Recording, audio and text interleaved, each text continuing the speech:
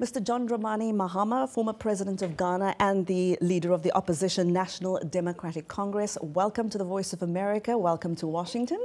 Uh, thank you, Haydé. Thanks for having me. Um, Mr. Mahama, we'll start out with what brings you to Washington, what brings you to the United States? Um, I'll make a quick correction first. I'm former president, and um, the leader of our party is the chairman of the party. What happens is when we um, are in opposition, uh, the leadership reverts to the chairman of the party. So um, I came to, at the invitation of Liberty University, so I just flew in from Lynchburg, where the university is. Um, I came to participate in the 500 CEO Summit, and uh, I also had the opportunity to address convocation of the university, and then also participate in a program they've introduced uh, about doing business in Africa, where they bring uh, African business people and leaders to talk with American business people about how it is to do business in Africa and what the opportunities uh, there are. Uh, Mr. Mahama, the next presidential election in Ghana will be in 2024. Um, have you officially thrown your hat in the ring? Do you plan to run again? no, I haven't, Haydé. well, you know, word on the street, let me put it that way. well, it's good to keep your opponent guessing. And so even if I'm not running, I'm not going to say I'm not running. so um, a decision will be taken early next year in the first quarter. And that's when we hold our party's primaries for the presidential candidacy. And uh, we'll see. So at this point, you say you can neither confirm nor deny? Of course. well, um, so, you know, um, turning to the situation in the country, and you have been very outspoken about the economic turmoil that you are seeing um, in Ghana. The country is enduring deep economic problems, yeah. rampant inflation. Now, of course, this is not unique to Ghana. We're seeing this globally. Um, but we saw protests in the country yeah. Um, in June against yeah. the high cost of living. And you've, for a long time, called on the government to accept assistance from the IMF. Yeah. It has now changed course and, yeah. and um, has turned to the International Monetary Fund yeah. for help. But, Mr. Mahama, you also came under fire about how you handled the economy during your tenure. Um, should you run for president, should you have a chance to lead your country mm. again, mm. what would you do differently mm. that you didn't do the first time around? What would you do differently next time? I'll just, I'll just um, say something a, a, a, little bit to look at the two circumstances under which we went into the IMF. Um, we are all members of the IMF, and so it's a body we go to when you have some macroeconomic instability. And so at the time I was president, yes, we suffered macroeconomic instability due to two factors, internal and external. External, you get shocked from time to time. We had the commodity price shocks the slowdown in China. But internally, we overshot our expenditures because we introduced a new wage policy that um, uh, sought to make the uh, remuneration in the public sector more uniform. And it shot the wage uh, bill far above what we had anticipated. Almost 73% of our revenues was going to pay wages and salaries alone. And so that forced us to go uh, into the IMF. Um, this government has twin problems. One is um, macroeconomic instability because expenditures far exceed revenues. Revenues are not performing properly. But then the second thing is also that they went on a borrowing spree and they've pushed our debts to, uh, to levels that are unsustainable. Uh, just recently, the World Bank came and said we had almost 104% of debt to GDP. And so we have twin problems one, to uh, achieve fiscal consolidation, and two, to um, uh, bring debts back to sustainable levels. So that's what they're faced with. Um, what I'll do differently, the economy is situated in an environment. It does not exist in isolation. And so there are some things that need to be done to create an environment for the economy to thrive. And some of them are governance issues, strengthening state-owned institutions, the fight against uh, uh, uh, corruption, you know, and so many other things that create the environment for the economy to thrive. I think that if we go into this program and we bring debts back to sustainable levels and we're able to um, get the bridging facility in order to achieve policy credibility so that investors again feel confident that they can bring their money into Ghana, then we, we must start from there and maintain that prudence. This should be the last time we go to the IMF. I mean, because going and coming and going and coming, I mean, it's, it's really, uh, it, it, creates a certain instability in the whole system. And it, it also reduces the faith that people have in our democracy. One of the things that we will do when we come back, that's the NDC. I didn't say I because we're not sure who will lead us. One of the things that we'll do is to, like I said, strengthen state institutions, strengthen the anti-corruption institutions, but most importantly, look at the Constitution again. We've been operating this Constitution for more than 26 years. And I think that the time has come for us to look at it again and do some tweaking in order that we can have a more uh, a, proper constitutional environment in which to grow the economy. And so those are some of the things that we would look at. In four years, we have a four-year term. Uh, like they have in America, not like in other countries where they have five right. terms. And right. So there's very little you can do in terms of infrastructure. We'll do our best, invest in uh, the health sector, invest in education, invest in the economic infrastructure. But all this must be geared towards creating opportunities for especially young people to be able to realize their full potential, be able to find jobs in the economy. I think that that's what, what we'll be looking at. And, and in your experience, does a loan from the IMF cure all economic ills? No, it doesn't. It doesn't. You see, um, what happens is you can implement a homegrown fiscal consolidation policy, which is what we wanted to do.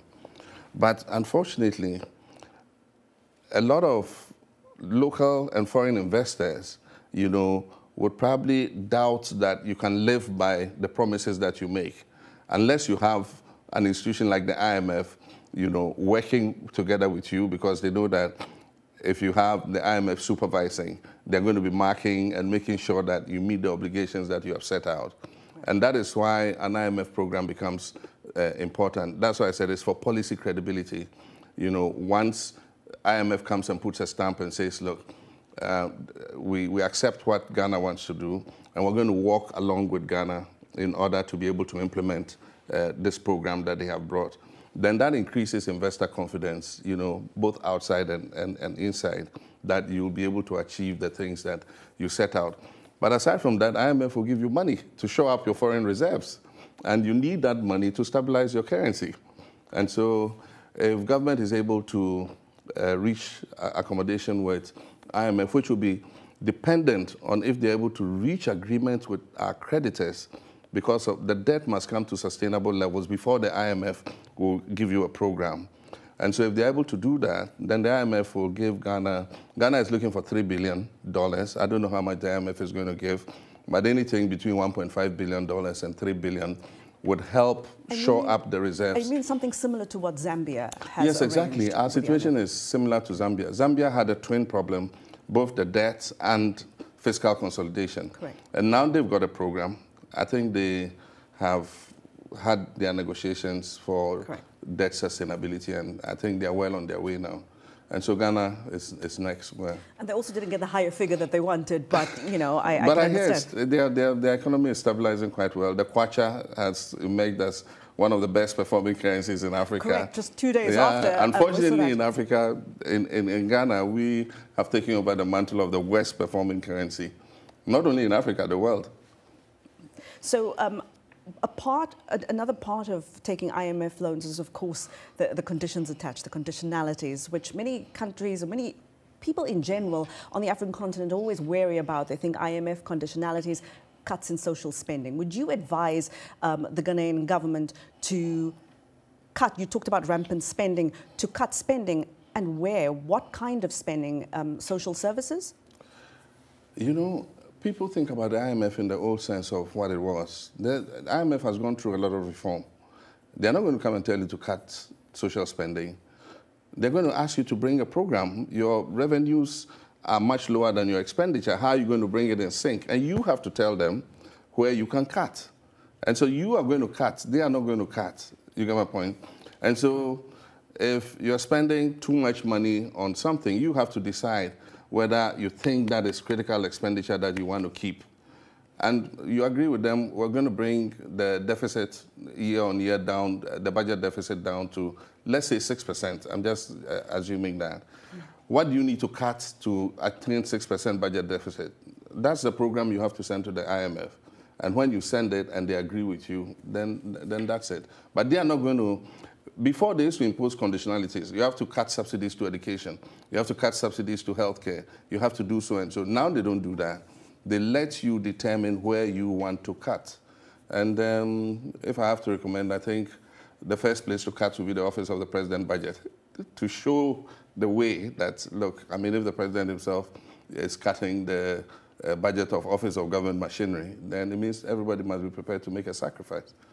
Uh, I want to turn to some of the electoral politics that have been playing out in Ghana. Uh, Mr. Mahama, you have been in politics a long time, um, and there have now been two election cycles in 2012 and 2016 where the current president, Mr. Akufo-Addo, and, and you have both respectively challenged the election results. Um, what can you say that you and your National Democratic Congress have done over the years to ensure that you know the country has a free and fair electoral system to the extent that it instills confidence in people um, like you and others running for office that the results are the results and that you believe the results? Yeah, one of the first things you need is an independent and neutral electoral commission. And um, I believe that with the change that took place in the leadership of the commission, we don't feel confident that the commission is sufficiently independent and neutral uh, because of certain things that have happened. Um, my party has withdrawn from the Inter-Party Advisory Committee, committee because the, this current electoral commission said that body is only advisory and they don't need to take the advice of, of that body. And before we used to reach consensus in the Inter-Party Advisory Committee. Um, we took decisions by consensus. Now what they've done is resurrect so many small parties, and then as soon as anything comes for discussion, uh, they quickly say, let's vote. And then they have all these parties on the side of the commission and the ruling party, and they, they, vote by majority and say, look, the decision is taken. And so we saw that we're wasting our time in the IPAC. And so we withdrew. There have been discussions to try and bring us back. But you, you'll be surprised that it is the Electoral Commission that is reluctant to uh, um, accept those moves to let NDC come back. The Peace Council has invited them for the last eight months. The Electoral Com Commission can't find time to sit with the Peace Council and after that have a joint meeting between the two biggest parties so that we can go back to IPAC. They are not interested.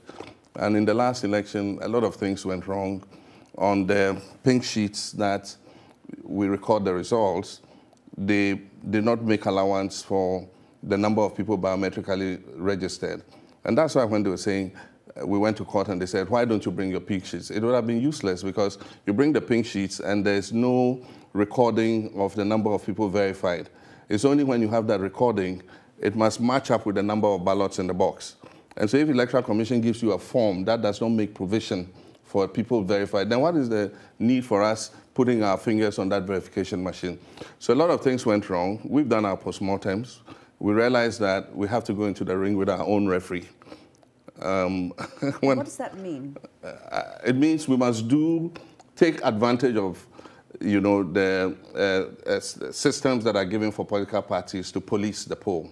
And so it means that we must be extra vigilant at the polling station level, at the collation level, and the uh, final tally level. And so we're going to be much more vigilant than we were in the past. You know, you expect that the commission is neutral, and so there are some things you take for granted. But this time, we're not taking anything for granted.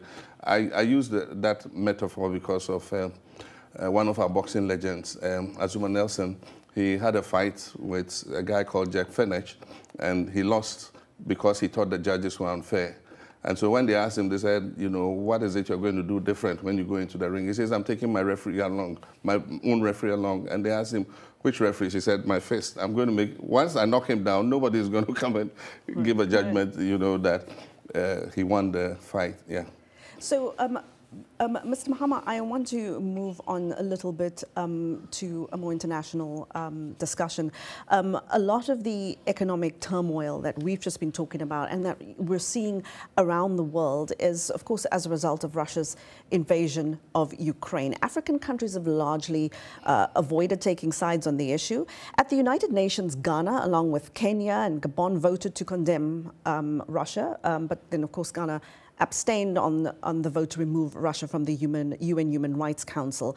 In your view, were those the right decisions made by the current administration?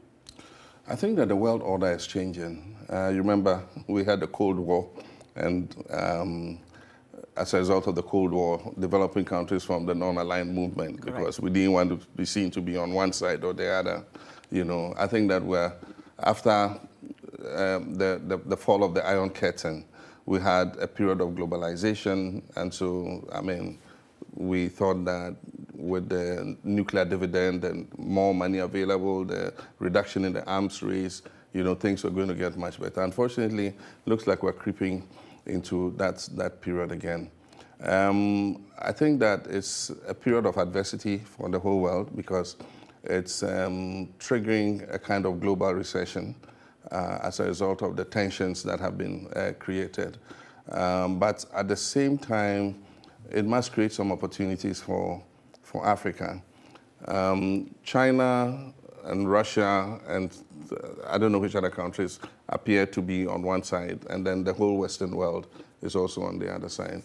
Already um, in Africa, if we need um, funding for infrastructure, big infrastructure uh, projects, the place to go is China uh, and the East. Um, normally, the Western countries would invest in the social sector, in education, in healthcare, and things like that, but not big infrastructural uh, projects. I'll make an exception for the Millennium Compact, which uh, President Bush introduced and which Ghana has benefited from twice. But normally, if you want to do a bridge or a road or a railway or something, often you'll go to, to the east. Um, at the last G7, um, the Western countries uh, talked about a 600 billion uh, a, a fund to assist Africa and other developing countries in terms of infrastructure. I know that the United States has put up the uh, DFC, I think it's a DFC, and they've committed about 100 billion uh, to uh, assist countries in critical, you know, infrastructural projects. So it's an opportunity for us to uh, benefit, you know, in terms of improving our infrastructure. But at the same time, it's an opportunity for us to look within and see what we can do better in terms of trading amongst ourselves. Happily, we've passed the African Continental Free Trade Area. And as I speak, the first commodities are beginning to be exchanged. Um, a shipment of tiles from Ghana, I read this morning, is going to Rwanda. And a shipment of tea is coming from Kenya uh, to, to Ghana. I mean, that's good news. I mean, we've been advocates of this for so long. We're happy it's happening now. 11% trained amongst ourselves. That's, uh, it's, it's, it's, it's ridiculous.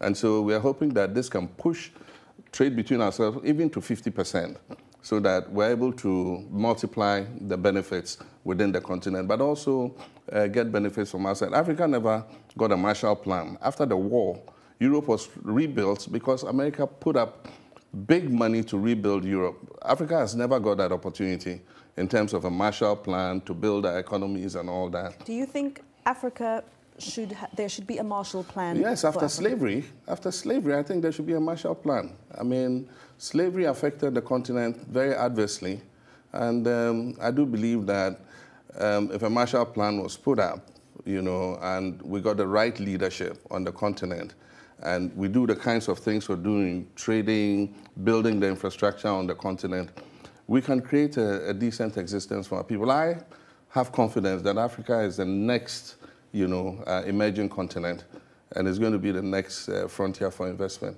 and business. Well, um, from what they say, from your lips to God's ears. Um, Mr. John Dramani Mahama, the former president of Ghana, thank you so much for your time. Thank you for coming and speaking to us. We do appreciate it very Thanks, much. Thanks, Haydé. Thanks for having me.